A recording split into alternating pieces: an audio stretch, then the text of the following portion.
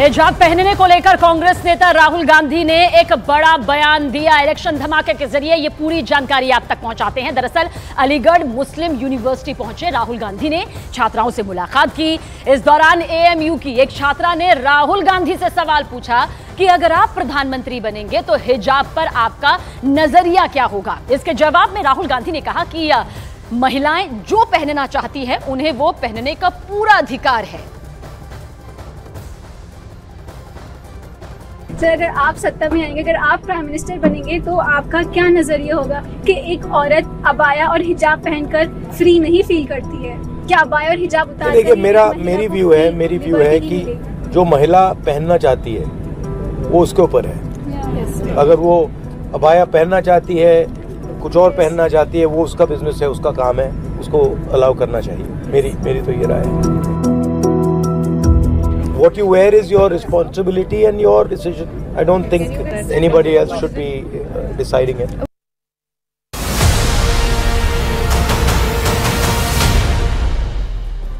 अब राहुल गांधी ने ये बयान तो दे दिया है लेकिन इस बयान के बाद बवाल भी मच गया है दरअसल राहुल गांधी के हिजाब समर्थन पर बीजेपी ने जोरदार हमला किया गिरिराज सिंह ने राहुल गांधी पर लोगों को भड़काने का आरोप लगाया गिरिराज सिंह ने कहा कि राहुल गांधी देश के सामाजिक सौहार्द को खराब करने का काम कर रहे हैं। ये संगीन आरोप उन्होंने राहुल गांधी के इस बयान के बाद लगाया है। राहुल गांधी व्याकुल भारत। उन्हें लग रहा है एक देश में एक कानून ना रहे, एक देश में सामाजिक सौहार्द ना रहे इसीलिए दूसरों को भड़काने का काम करते हैं। ये कानून का देश है, कानून से काम चलता है और कानून ही काम करेगा। राहुल गांधी वोट के खातिर व्याकुल भारत है।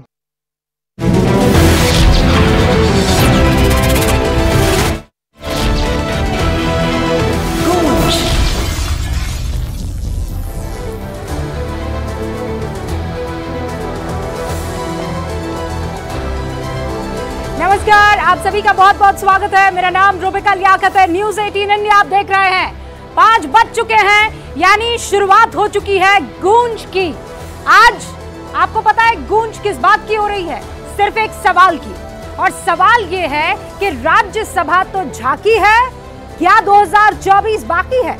ये सवाल इसलिए गूंज रहा है क्योंकि आज राज्यसभा सदस्यों का चुनाव हुआ है।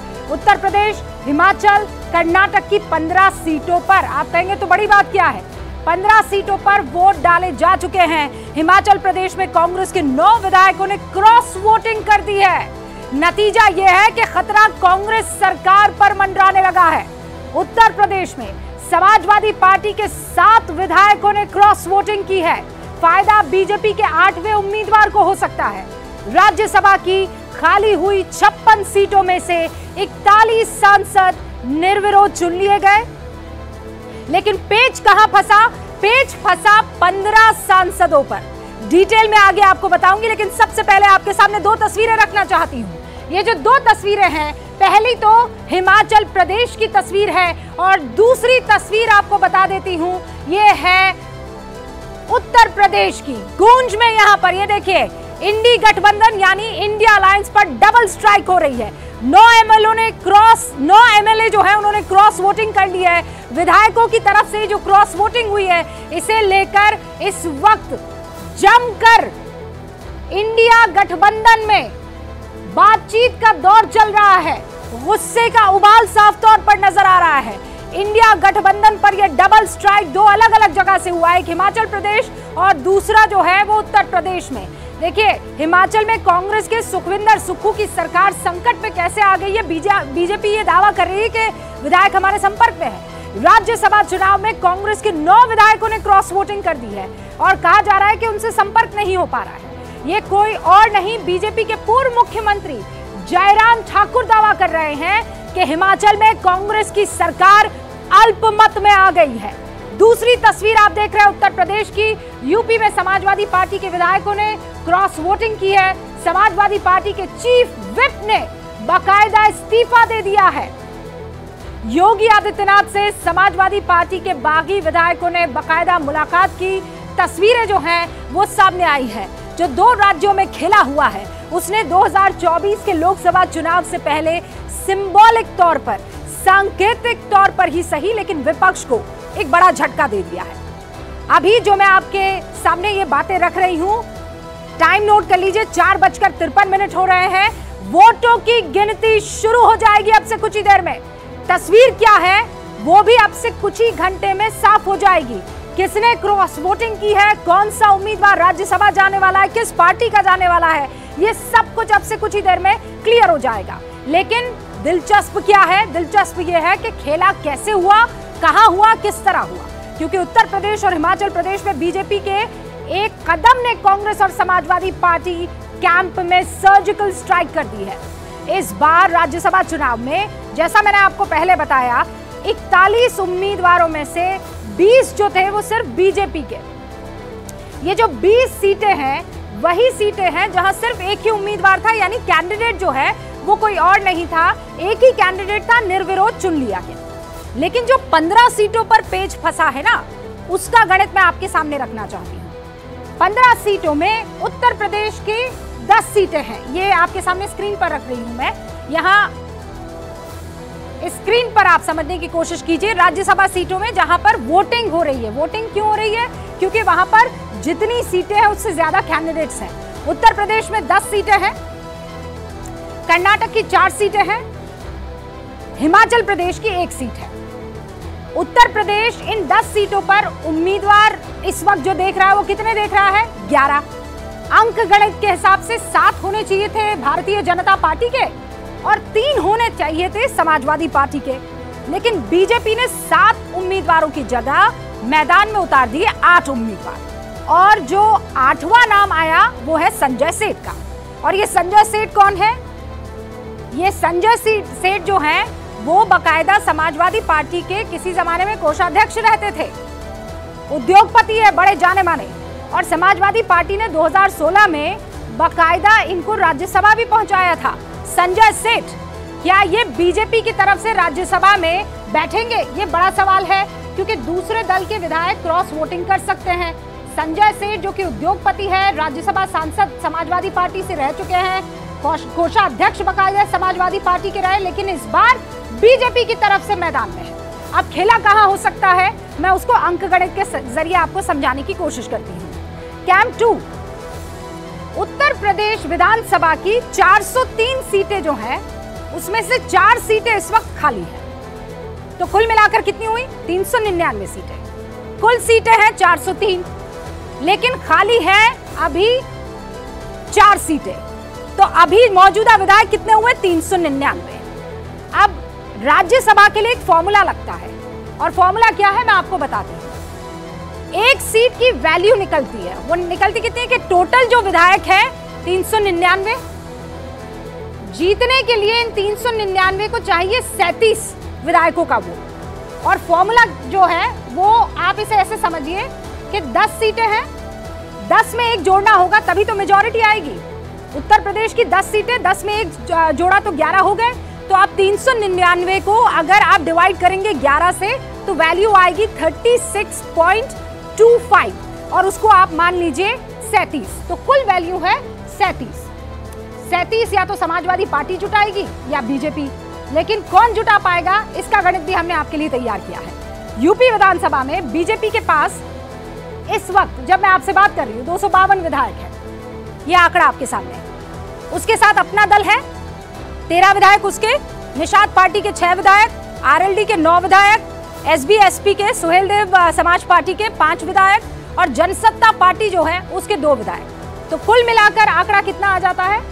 तेरह विधायक जोड़िए, छह, जयंत चौधरी के आरएलडी के पास नौ, ओपी राजभर की पार्टी के पास पाँच और राजा भैया की जनसत्ता पार्टी जो है, उसके दो विधायक। ये सभी बीजेपी के साथ है। तो कुल मिलाकर आंकड़ा दो सौ सैतीस हो जाता है। माफ़ कीजिएगा दो सौ सत्तासी हो जाता है। बीजेपी आठ उम्मीदवार जिताने के लिए जो आंकड़ा उसको चाहिए वो है दो सौ छियानवे वोट टू यानी बीजेपी बीजेपी के पास अभी जो कमी है, वो नौ विधायकों की है।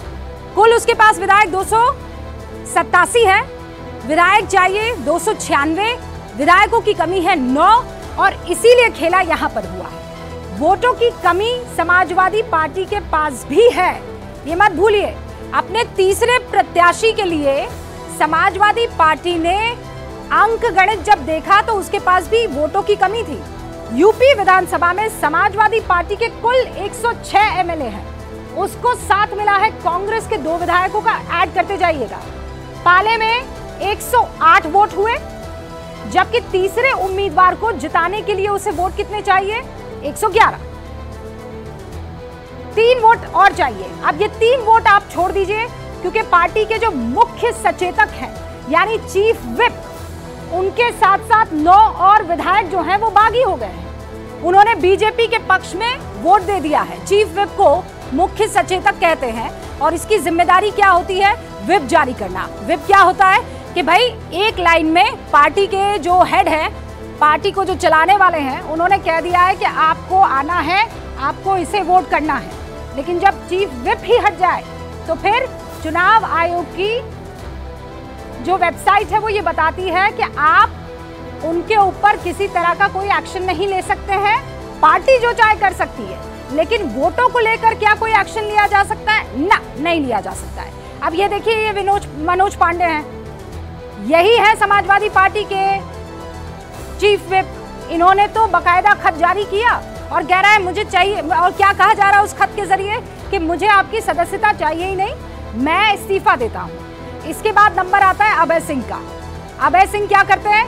वो बाकायदा फेसबुक पर प्रभु राम की एक तस्वीर शेयर करते हैं और लिखते हैं, जय श्री राम। फिर धीरे धीरे बागियों की लिस्ट सामने आने लगती है। और बागी कौन कौन है? मनोज पांडे आपने देख लिया। अभय सिंह देख लिया। राकेश प्रताप सिंह का फिर नाम आया। राकेश पांडे का नाम आया। विनोद चतुर्वेदी का नाम आया। पूजा पाल का नाम आया। आशुतोष मौर्य का भी। खेल आपको बता दूँ हिमाचल प्रदेश भी हुआ। वहाँ पर वहाँ राज्यसभा के चुनाव जो हो रहे हैं उसे लेकर भी बड़ा खेला हो गया है। हिमाचल प्रदेश में भी बीजेपी ने उम्मीदवार जो उतार दिए हैं उसे लेकर गड़बड़ी हो गई है। ये जो क्रॉस वोटिंग की है उन, उन सब नामों को एक बार फिर से आप देख लीजिए।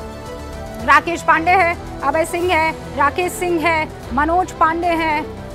उसके बाद आप देखिए, पूजा पाल का नाम आ रहा है, आशुतोष मौर्य का नाम आ रहा है और बकायदा आपको यहाँ पर विनोद चतुर्वेदी का नाम भी दिखाई दे रहा है। लेकिन हिमाचल प्रदेश में एक सीट पर कांग्रेस ने अभिषेक मनु सिंघवी को उतारा था। बीजेपी ने उसी मनु से अभिषेक मनु सिंघवी के सामने जो है, हर्ष महाजन को उतार दिया। लेकिन अड़सठ विधायकों वाली विधानसभा में एक उम्मीदवार को वोट कितने चाहिए? 35 वोट चाहिए। कांग्रेस के पास 40 विधायक है, बीजेपी के पास 25 विधायक है।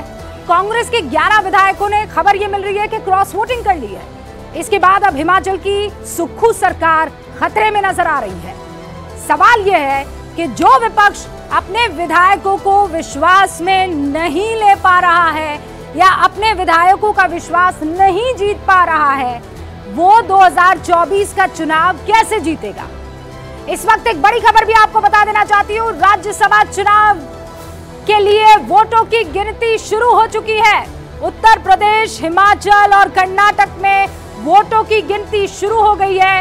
उत्तर प्रदेश में राज्यसभा की 10 सीटों पर मतगणना चल रही है। हिमाचल प्रदेश की एक सीट पर काउंटिंग चल रही है। कर्नाटक में तीन सीटों के लिए मतगणना शुरू हो गई है।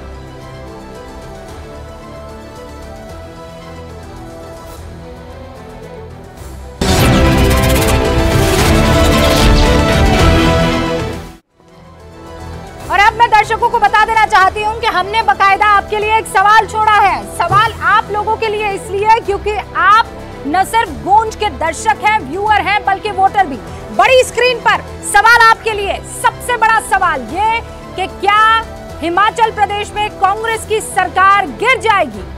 क्या उत्तर प्रदेश में अखिलेश यादव से बगावत और ज़्यादा बढ़ जाएगी? उत्तर प्रदेश में आठ से क्या अस्सी का रास्ता निकलेगा? और क्या राज्यसभा चुनाव में 2024 लोकसभा चुनाव का ट्रेलर दिख रहा है? इन सवालों का जवाब देने के लिए जो खास मेहमान हमारे साथ जुड़ चुके हैं, उनसे आपका तारुफ करवा देना चाहती हूँ। आज गूंज में शामिल हो रहे हैं बीजेपी के राष्ट्रीय प्रवक्ता प्रेम शुक्ला जी, समाजवादी पार्टी के राष्ट्रीय प्रवक्ता राजीव राय जी, राजनीतिक विश्लेषक तहसीन पुनावाला, जो कांग्रेस का खुलकर समर्थन करते हैं, और एक्सपर्ट के तौर पर वरिष्ठ पत्रकार प्रदीप सिंह साहब। आप चारों का बहुत बहुत स्वागत है।